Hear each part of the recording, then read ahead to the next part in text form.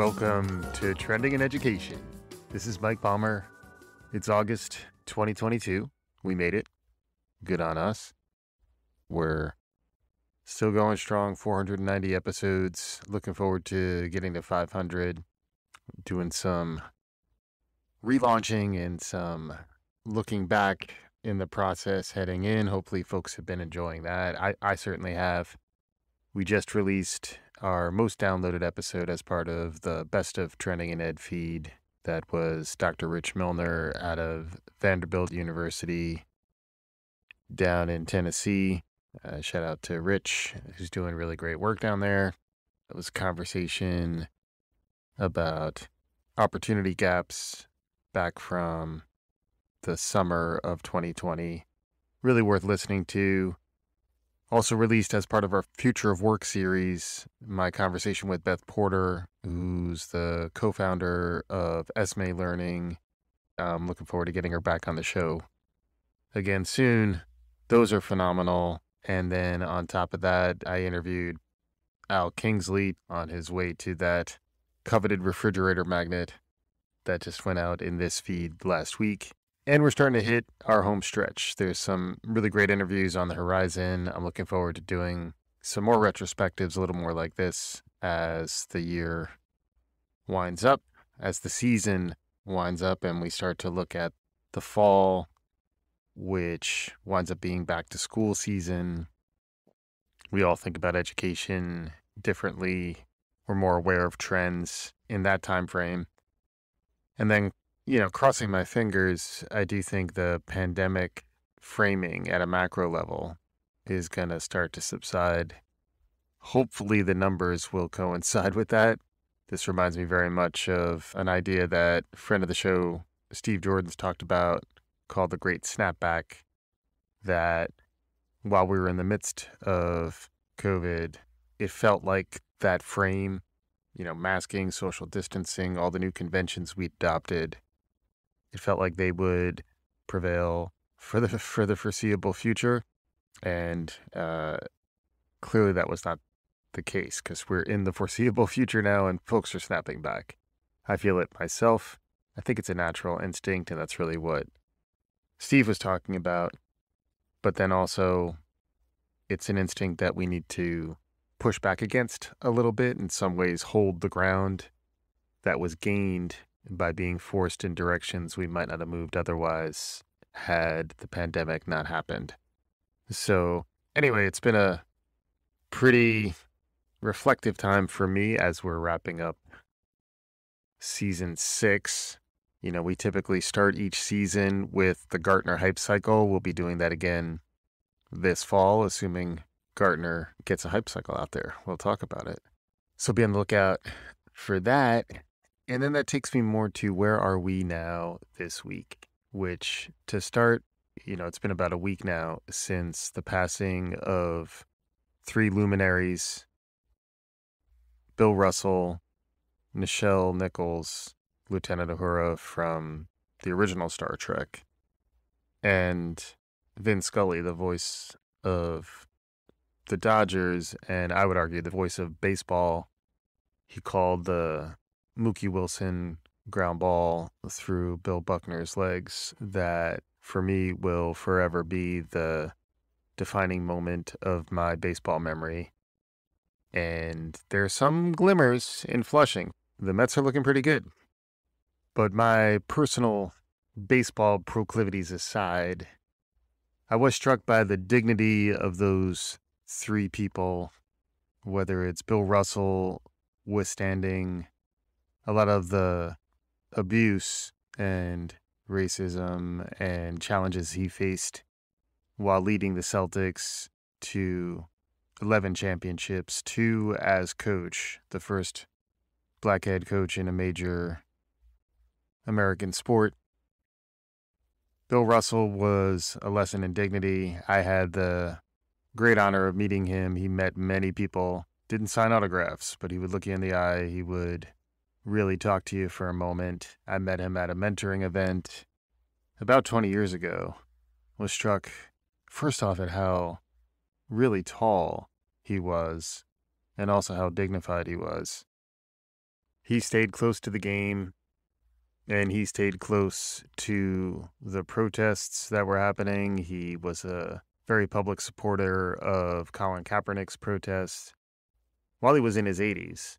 You know, this guy, basketball player in his 80s, taking a knee says something. As I get older, taking a knee means something in that it's going to be a bigger deal to get up, and it may not be the most comfortable position while I'm down.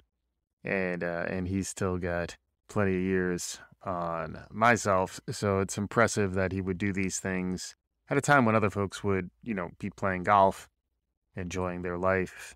Uh, I'm sure he did his share of that as well, but Bill Russell was striking for his dignity and his leadership. The same for Nichelle Nichols, who, among her many Star Trek fans, one was the Reverend Dr. Martin Luther King, which is another amazing story, another place where you can understand the impact of media on the culture.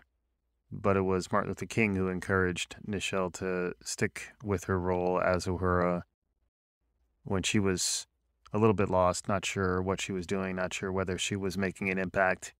It's surprising the people you might reach, and it really might just be that one person who you reach who makes that impact. She reached Dr. King, and he conveyed to her, continue to do it. And I got to say, you know, she made a strong impression on me as a young kid. It was nice to see the diversity on the bridge. When I think hailing frequencies, I think Lieutenant Uhura live long and prosper. And sad to see him go, but it is impressive to see them go with dignity throughout. And that was certainly true of Vin Scully as well. So I'm going to try to think of them as part of our spiritual ancestors at this point, try to convey some of what they've done in their careers, what they did with their lives, and hopefully try to shoulder surf off their grace and dignity as we take Trending in Ed across the finish line in the 500th episode, and then we kick off our seventh season, which is quite a span of time when you think about it. So that's what's on the horizon for today's show. I think we're going to keep it relatively brief. In addition to the in memoriam that we just kicked off with, the big news in education, the, the thing that really is getting people all a buzz these days is Raj Chetty and his research has come out with something new now. This is now focusing on economic mobility as his research typically does. He's a big data guy, does a lot of analytics, really cutting edge stuff. RajChetty.com is his website. They just released new research on the importance of friendship and friendship as it cuts across economic strata, how when folks are towards the bottom end of the socioeconomic curve and they are exposed to folks who are higher up the curve throughout their lives, they are much more likely to see social mobility, economic mobility, and growth in their lives. Interestingly, it also points out that at the tippity top generally the area that would be considered the 1%, that there is the least interaction, the most, I'm going to say it segregation, in that, you know, like only really becomes friends with like or to a much larger extent. So I guess it's arguing for folks in those elite corners of the world to figure out ways to engage with others, ways for their children to engage with others. Arguably, there's some thinking and planning, whether consciously or otherwise, that that is not really the objective. But it does at the same time speak to the power of things like public education when folks actually are opting into public education, that that does open up the opportunity for folks to become friends across social, economic divides, ethnic divides, whatever, racial divides all those co- complexities start to subside when you just get to know people as who they are. You know, the mere exposure effect is the term from psychology that this is an example of. The more you're exposed to folks who have different backgrounds than you, the more likely you are to become tolerant of them, to beyond become tolerant to them, to just connect to them in the multifaceted ways that we can connect with other people. And then that deepens your understanding, gets you past that surface stereotyping. Raj Chetty's work definitely worth checking out. His most recent research is getting some attention. It's something that certainly speaks to the importance of diversity and inclusion and, you know, getting folks, teachers who are of diverse backgrounds, whether it's students actually encountering folks from different backgrounds. All these things are really important ultimately in building a more equitable society. So it's nice to see that this is getting some press. And then the last thing I wanted to talk about today was I did finish another book. I always like to include some book recommendations when I get the chance. This one is called The 90s. It's by Chuck Klosterman, who is a writer, a columnist in different magazines over the years. He's been on a bunch of podcasts over the years. He's a interesting thinker, talks a lot about music, culture, sports, media, movies, literature, you name it, but cultural critic, you know, cultural thinker. He is generally of the Gen X age range, which I certainly ascribe to as much as anyone can peg a Gen Xer as anything. We are at least members of that generation. He wrote a book called The 90s, which I would definitely recommend to folks who are in Gen X because it takes you back to the 90s in a very powerful way really anyone who has any affinity to the 90s. And I've talked in the past about how there are certain retro windows that come into vogue from time to time. It's usually about 20 to 30 years ago. So it would make sense that by now we're starting to think about the 90s in a more reflective, thoughtful way. It is, to Klosterman's point, somewhat of the end of history in a lot of ways. Things really did take a sharp turn in the 2000s. You forget how crazy it was with Y2K, the Gore Bush election, and then 9 11, all happening in rapid succession, which then quickly turned into the Bush presidency, which turned into a new geopolitical framing and and really what we remember since in some ways.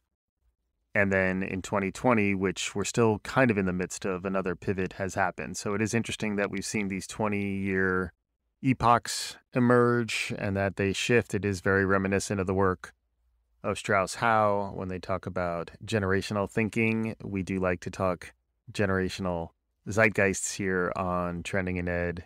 So I was happy to see Chuck Klosterman write a book about it. He also voices it himself, which shout out to any author who is voicing their book in addition to writing it. Uh, you know, recently we featured Annie Duke's interview here on Trending in Ed, where she also voiced Thinking in Bets. It's also really interesting as an interviewer to talk to someone after you've just listened to them voice their own book. It's a pretty deep conversation right from jump which uh, which is striking. So maybe we'll talk to Chuck's people, see if we can get them, get him lined up for down the line. And that's about it. One other quick point before we wrap today's show, I have had some outreach from listeners who are interested in appearing on the show, which is fantastic. We're lining up a couple of those interviews already. If you are someone who is interested in appearing on Trending in Ed, email me at mike at palmer.media. I'll get back to you, uh, at least check in, and if possible, we'll line you up for a conversation. You'll be appearing as a guest on a show. It'd be nice to get a, a cross section of folks who listen and are continuing to support us along the ride. And with that, we're going to wrap this episode up. Welcome to the future. It's August 2022. This is Trending in Ed's 490th episode. We are T minus 10 from episode 500. Thank you so much for listening. Check out our Substack palmermedia.substack.com. We try to summarize what's going out across all the different podcast feeds and programming innovation that's happening. Also, if you're interested in reaching out to me and my associates for consulting work, that's also Mike at palmer.media. And with that, we'll wrap up this episode of Trending in Education. Thanks again for listening. We'll be back again soon. Do all the good things.